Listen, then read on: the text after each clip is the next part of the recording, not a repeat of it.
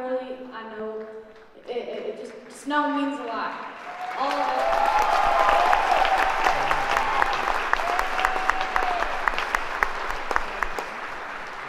It's a really beautiful theater, and I appreciate you all being here.